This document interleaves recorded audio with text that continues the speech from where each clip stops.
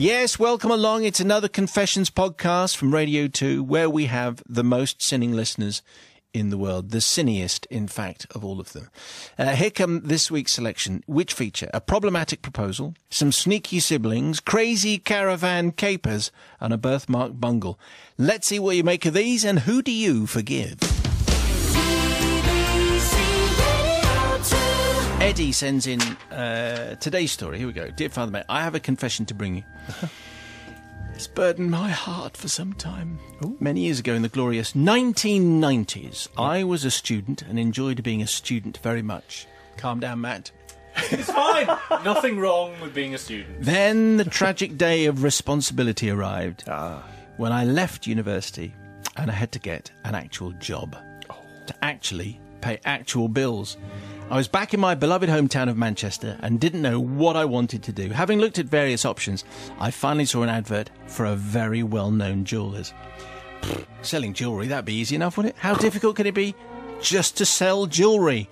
Anyway, with that, I applied and I was accepted. Okay. Needless to say, the world of said jewellers was not an easy gravy train, not as easy I thought it, as I thought it was going to be. It was blooming hard work. The staff weren't treated great, and after hours of standing on your feet, my legs hurt. I stayed on with all the staff though, basically because I didn't know what else to do. Uh, and we'd all moved to the new flagship store in the brand new Trafford Centre. Here there was a better atmosphere because we were all young, apart from the manager. The manager was a bit of an issue. He was hardly ever there. Did very, this is kind of a management thing. I mean, not a BBC management thing, but in No, general, goodness, no, goodness. How dare you even think such a thing? yeah, in general, that doesn't really happen. No. I don't think. Anyway, well, well. The manager was a bit of an issue. Yes, it did very little. It was normally grumpy or excruciatingly pandering to anyone from head office who turned up at the pride of the said jeweller's empire. Ah, now, Father Simon, two things buoyed my spirits in these dark days. I became very good mates with one of my co-workers, Rob, and we both discovered the joys of James Brown and Isaac Hayes and a whole host of other soul and funk artists oh. from the 1970s. Rob and I often volunteered to close the store on Friday and Saturday night shifts so that when the others had gone, I could quickly cash up while Rob nipped out to get the takeaways in, which we ate on the highly polished shop counters, whilst blaring out our music from the shop stereo before we headed out for the night on the town. But now I come to the crime itself. As you know, all bad ideas come from head office. And this. No, that is more common. Yeah, yeah. is it? Uh, well, apparently, yeah. Okay. Anyway, head office sent out their latest tacky idea to the flagship store. To, to a lot of people go, yeah. know what I yes, mean? Familiar. to push out, and it was this red velvet ring boxes on which you could record a short message. Which it played when the box was oh, open. There were a lot of this happening in the 90s. You know, like remember Christmas cards and birthday cards, you open them up and the technology starts Yeah. playing. Anyway, this played in like, something nice when you open the ring box. Oh, no. The idea of the geniuses at marketing was that these boxes would add a personal touch and say happy birthday or happy anniversary when you. it's a recipe for disaster.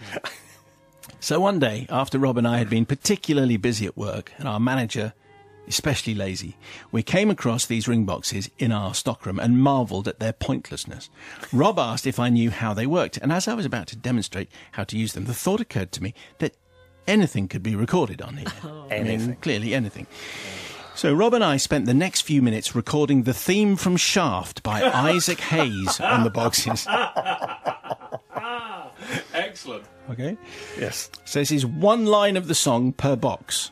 We were in tears of laughter and very proud of ourselves as we lined up the 20 or so ring boxes in the correct order and opened them up one by one to reveal the song. So, open box, who's the cat that won't cop out when there's danger all about? Open the next box, shaft, open the next box, right on, and so on. Or you could do it like this. Open the box, Who's the cat that won't cop out when there's danger all about? shut the box. Open the box. Oh, shut the box, Yes. Open the box, Right on. right on, Fantastic, right on, indeed. Fantastic. Thank you very much. Shortly after this, Eddie says, I left the jewellers and I never worked for them again. You surprised me. Anyway, I remained good friends with Rob, who also left. But several months later, we went back to say hello to our former colleagues. In the conversation, we talked about the ring boxes that you could record a message on, and we asked if they could bring them out so that we could hear them all again. Well, They said they couldn't because they'd sold them all. And they'd sold them all still with the theme from Shaft on because they'd forgotten to blank out the recordings. The complaints had been legion. And so, Father Simon, uh, the forgiveness I need is not from the store or the manager, but from one apparently young, nervous fellow who bought one of these ring boxes to surprise his girlfriend, thinking it was preloaded with a proposal question. Oh. Instead, it got the question which is posed in the song. No. Which is this. Who's the black private dick that's a sex machine to all the chicks? Yeah, who's the sex machine to all the chicks? Shaft is the answer. and then a, Oh, yeah. it's truth. Uh, Right. And well, then, Damn right. damn right. Yeah, yeah, damn yeah, yeah, damn right. So here we go with tonight's uh, confession. Thank you very much, Steve, for all these confessions coming in. You can send yours to confessions at bbc.co.uk. Deadly, we are expecting yours, by the way. We are going to do another uh, presenter season very shortly. Oh, really? Yes. Oh, excellent. Would that be good? That Yeah, be I've got lots to confess to. Yes, yeah. uh, we've certainly had a few. if you have any confessions on Deadly's behalf, we'd also like to get those. Uh, confessions at bbc.co.uk. Jessica sends in tonight. Matt's passing notes already. Stop that, Williams. Naughty boy. Jessica says, "Dear, now this this confession is in is in the tradition of a long line Okay. of confessions. Father Simon and the Merciful Massive. I am writing this on behalf of my fiancée, who requires absolution. We have recently become engaged, and I, I am unsure about proceeding with the wedding without first seeking advice on this issue. Oh. Not being of a religious mindset, I would not normally request the opinion of a radio based clergy. really? How dare you? In this instance, come a long way for this. I did not know where else to turn for a third party assessment of his character. So a lot's riding on this. And we're cheap. Many years ago, my then 12 year old boyfriend. Now, I think what she means by that is Yes, my Yeah, boyfriend was all- 12 Yeah. Yeah, that's fine. at the time. Boyfriend of 12 years. Yes. He wishes to remain anonymous, but for the purposes of this tale, we're going to call him Stephen. Was on his summer holidays with his family. This particular July, they had rented a house in Aviemore. Stephen and his siblings were amusing themselves in one of the bedrooms, the game in question involving jumping from bed to bed, avoiding the lava on the ground. I'm not sure how the owners of said rental property would have felt about this use of their furniture. However, this is not the point of the tale. While his parents were passing, so they're up in the bedroom, while the parents are passing a relaxing evening in the garden, enjoying some moments free from their offspring's demands and constant prattling. Okay. Now, Stephen is the oldest of the three children, followed by his sister, Nicola, and youngest brother, David. The night this sinful deed took place was the eve of David's sixth birthday. Stephen, being the eldest of the three, was generally considered the most erudite and experienced, and was often looked to by his younger siblings for advice on the world. The topic of conversation drifted to David's imminent birthday. Stephen says, David, are you looking forward to becoming a girl? Normal conversation. Normal Oh, conversation. excellent. Now, naturally, Oh, well this is, Poor David. naturally, this suggestion was taken as a fact because Stephen had said it. Yes, he continued, when you turn six, you'll become a girl. When I was born, I was a little girl, and I turned into a boy on my sixth birthday. When Nicola was born, she was a little boy. Even Granny was a boy once. As uh, Stephen and Nicola did not always see eye to eye on many issues, one might say mortal enemies, in fact, a horrified David looked to Nicola to refute this surprising statement.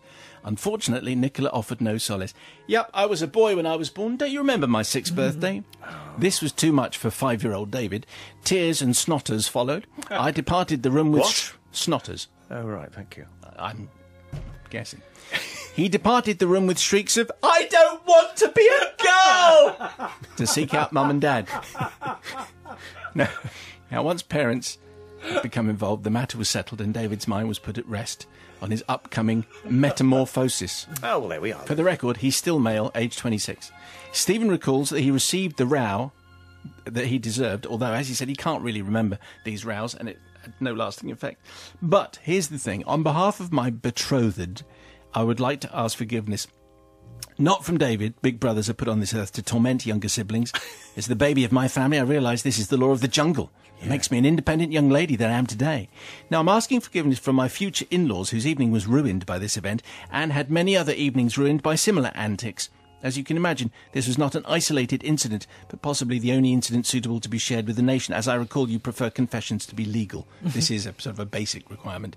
So, Father Simon, please take my fiance's misdemeanors into consideration and advise on your ruling here. I do not wish to uh, enter into marriage with a man of poor character who's destined for the Burney place. The birdie place. The Burney place. So, an awful lot rests on this. Is he a man of character that you would reckon? so, it's not. So, there's two things here forgiveness, yes or no. Should she continue with the engagement, yes or no? Okay, here we go. Not there's any pressure.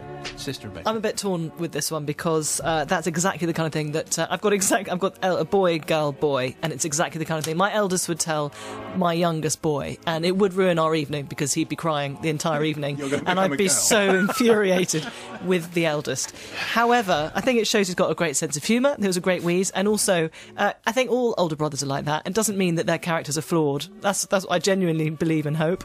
Uh, so I think you should go for it and marry the guy, and Yeah. and uh, he's also forgiven. Are you looking forward to becoming a girl? It's an interesting question. What do you think, Deadly my, my brothers and sisters were cruel to me, so uh, I don't see that why was it said shouldn't with carry feeling. on. No, it was, it was the youngest. You see, the baby. Uh, you can't judge him on, on just that incident alone. That's a little bit unfair. Uh, it's an isolated incident of sorts. Although you did say the parents similar antics, so don't worry about the parents. They're used to it, or would have been used to it anyway. If you will have a large number of kids, you'd expect that sort of problem anyway. So uh, I think I forgive. It's yeah, their own fault. Yeah, It's your own parents' fault. Hey, parents, what are you Parents' doing? It's fault. bound to happen. It's bound to happen. Yeah. lies you tell your brothers Yes. and sisters, as well as lies to t- you tell your kids. Yeah. Matthew. Uh, yeah, speaking as an elder sibling, it's absolutely fair game. We can do Oh, what we, we go. want with the younger siblings. They came along and ruined it for us when, you know, we were the centre of attention, then suddenly they come along and they're more cute and they get all the grandparents interested, and suddenly it's not, we're, we're no longer centre of attention. difference so, between so us, yeah. basically, it's fine. We can do whatever we want, and so that for, for that reason, definitely going to forgive. And yes, you can marry him. Because uh, in my experience, when you're the eldest of three siblings, then you're very much the pick of the bunch. So you, you, you've got over it then? Yep. Can we get on with this? Tonight's confession comes from Tina. Tina, thank you very much indeed. Dear the delectable Father Simon and the beautiful talented collective. My tale is one which has been playing on my conscience for many a year. 18 to be precise. It was the start of the summer of 1996. I was a young, know it all 18 year old with the world at my feet and nearing the end of my years at school. My childhood had been filled with my family's penchant for caravanning. Yes, it's a caravanning confession, everybody. Throughout the warmer months, we would throw some clothes into the van every Friday. Our caravan was called Kylie. No need to change. no need to change this name, Father Simon. That's true. That's true. This particular summer, though, a terrible travesty took place. After a cold winter and a severely lacking spring, the days were beginning to warm, and so our annual caravan frolics were once again about to begin. One Saturday morning, Mum and Dad set off to prepare the van, leaving me in bed, probably around noon. However, that year was ruined, for my parents returned ashen faced, with my dad clutching poor Kylie's door handle. Just the handle. Yeah. Yeah. Okay. Kylie had been broken into. Though nothing was taken, the handle was pretty much wrecked and the interior dirty, trodden in, a total mess. Many hours of repairing took place to get Kylie back to her normal, pristine self. The owners of the yard were contacted, complained to, promises to improve security were made, set new security lights, providing compensation, etc. These improvements and such investment helped to lessen the pain my distraught parents felt. However, Father Simon, this is where I need to confess. Let's rewind three weeks to a significant evening in my teenage life. It had been the final evening of my A level school play, where I performed a rather stunted, wooden, and quite frankly rubbish character from Ibsen. The audience of friends and family did not seek, uh, not seem to care that I couldn't act for the life of me, and the applause was rapturous. It was our last night performing together as a group, and we had nailed it, and we wanted to party. And when you've done a big show, that's what you have to do. Oh, you have to just like here. Absolutely. Every, every night. Paddy O'Connell comes round. You can't stop him. Sorted Radio 4 wastrels. No home to go to. Anyway, Tina continues. I came up with the perfect solution. My parents owned a caravan. Which was kept in a yard miles from the nearest house in a perfect secluded space. We hatched a plan. After changing into our clothes, we all went to meet our parents with the same story imprinted in our minds. We were invited to Adam's house. There was no Adam in our group, But what would our parents know? My mum, being somewhat used to my mischievous nature, requested an, an address, which I reeled off with such confidence I briefly thought that I could act after all. the evening started well. We used candles to light the van, and someone borrowed the school ghetto blaster so that we could play mixed party tapes. Remember those? eh? Oh, those were the days. Then word got out, and more people arrived from school. I have to tell you, by this time, Kylie was bursting at the seams. Oh. But I was the bee's knees, the cool girl holding the party of the year. A couple of shandies, everyone was very impressed. At some point, someone tried to unlock the already unlocked door, and Kylie's handle fell off. Oh. But hey, we knew that could be fixed. It's fine. It's two o'clock. We got plenty of time. Anyway, by 3 a.m., the party mood had gone, really. Everyone appeared to be very tired for some reason, and they all needed to go home. So off everyone stumbled into the night to sneak into their warm beds. Apart from me. And where have you been? Where are Oh, okay, excellent. Where are these people Sims from? back. Brilliant. Hang on. I think it's more Margaret Rutherford. Isn't it?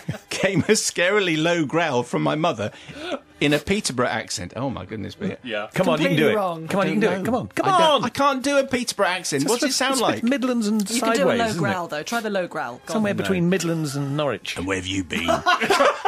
It's Ray Winstone. said my mother. What? Anyway, she was lurking in the shadows. I attempted to remove a shoe whilst propping up the cooker. Where have you been? she said. Brilliant. I've been at Adams. I clearly replied, Oh, but you haven't because I. Oh, oh but you haven't oh, but you haven't. because I went there an hour ago. Oh, no. Suddenly, the two shandies seemed to lose their effect. I straightened up ish and looked her in the eye. You did what? You were meant. you were meant to be home at midnight, but you weren't. So I drove to Adams to get you. The lights were off. Where were you? Have you been drinking shandy? That's plus 14 then. Quick Wow. think. Yeah. Quick thinking, with the confidence of an 18-year-old, I replied that we'd been in the conservatory. Ooh. out out the back. Uh, we, there were candles on, uh, and the light was low. We were listening to Dark Side of the Moon uh, with, uh, with headphones and drinking Coca Cola. My my eyes were tired. It was three, you know. We were just tired. Anyway, seconds seemed like hours. The scowl bore into my very soul, and with a swift turn and following a. My mum left the room, followed by a "Get yourself to bed now, young lady," Young lady. as they say in Peterborough. Miss Havisham. The next morning, I rose gingerly, steadied myself, and left the house to go and see a friend. I entered Kylie and surveyed the carnage. I cleaned, scrubbed, got bored, reckoned that was enough, and left, resting the handle back in its place so it generally looked at least a bit locked. Anyway, so forgiveness clearly. Not from my parents, who, because of that night, had the coolest daughter in school, hey. And uh, apparently, I had amazing parents, and they let them hold fantastic parties in the caravan. How about that? Uh, I had a story to tell even to this day, and who, upon hearing this confession, will no doubt forgive their loving, mature, and fantastic daughter. Uh, but I do need forgiveness from the people who lived at the address uh, that I'd come up with uh, off the spur of the moment because my mum went and sat outside their house at two o'clock in the morning and then went in and glared at the windows to see if I was there.